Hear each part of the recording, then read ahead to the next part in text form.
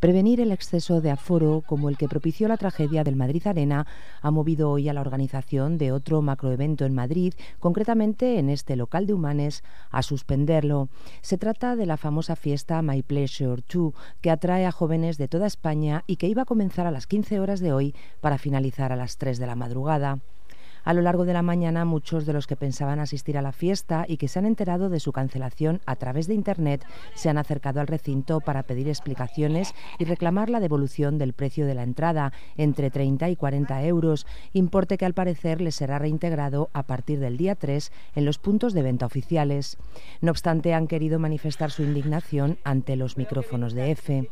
Fatal, fatal, porque es que no es que la avisen un día o dos antes, es que la han avisado por lo menos 20 minutos antes. Nueve horas de viaje, estos tres, no ves lo que hemos pasado, sudando y todo por las orejas, para que llegar aquí ahora y que nos cobren 40 euros y no nos den la entrada. Esto es lo que es. Esto es una mafia. No has avisado hasta las 4 de la mañana por internet. La gente que no tiene internet, ¿qué hace? ¿Me entiendes? Esta gente no se ha robado, no hay EP por el flores ese, ¿no?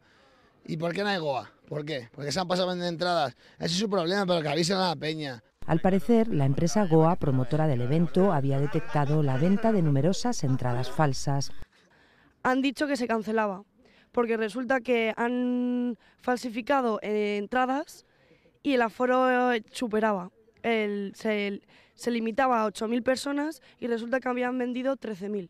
Varios coches de la Guardia Civil y de la Policía Local de Humanes se apostaban este mediodía en los accesos al recinto para garantizar que no se improvisara ninguna fiesta en la vía pública y para controlar el consumo de alcohol.